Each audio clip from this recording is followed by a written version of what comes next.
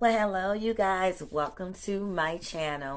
I am formerly known as Tricee, owner of Tricee Fruit Creations. So, if you guys have been browsing my page and seeing all the short videos, I was like, well, let me put a face to these videos. And I know you guys was wondering who is Tricee Fruit Creations. Well, I am Tricee Fruit Creations, you guys, once again. Um, before I go babbling, go ahead, like, and subscribe to my channel because I'm going to bring some awesome content to my page finally. Um, it's been over a year or so, I want to say, or three years now altogether that I've created my YouTube page and I've not posted any content but my introduction. So um, it's about time we go ahead and get this in action and give you guys my pointers. So without further ado, let me go ahead and get this introduction going. Ask me how I'm doing, I'm blessed, yes.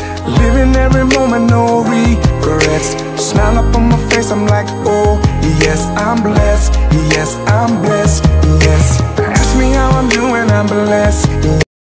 Well, hey you guys, and I'm really, really excited to drop these gems on you guys about getting to know Tricee and the reason for my channel. So, further ado, I am Tricee, formerly known as Tricee Fruit Creations. Um, my real name I go by is Patrice, and I am a fine mother of five kids. Yes, three boys and two girls. I started Tricee Fruit Creations, you guys, um, back in on Mother's Day of last year of 2020, 2020, yeah, 2020. And so I've been going strong with my business, you guys. Um, I decided to create a YouTube channel so I could start doing tutorials. But I only as far as I got to was just putting the introduction out, and that's been out for a while. And I've been just networking basically off of Facebook and Instagram and word of mouth. And I said, you know what? We need to take this manifestation, this blessing that I have, from the way that I learned how to do my arrangements and came up with different creativities from the start.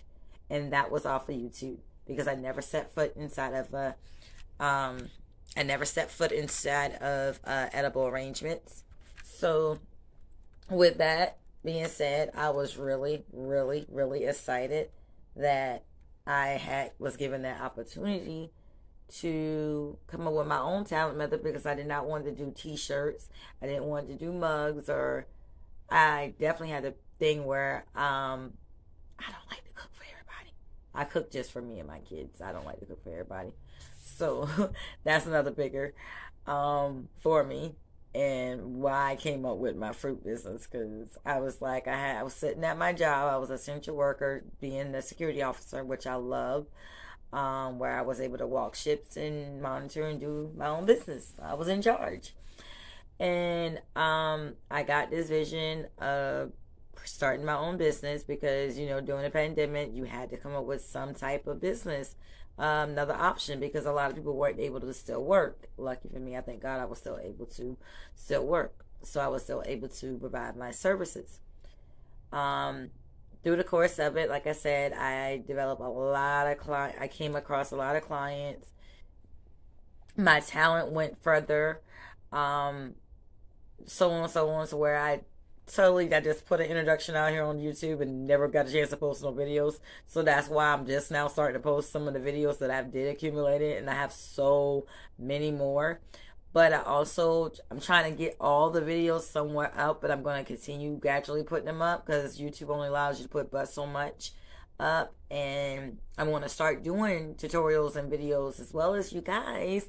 I have my own charcuterie board experience, so that is something else that I'm going to put on my platform to where you guys going to see designs of me doing that. I mean, the creativity is nonstop for me. I love what I do. I love creating with fruits. Um, I'm a big fruit lover as well, you guys. My favorite is watermelon.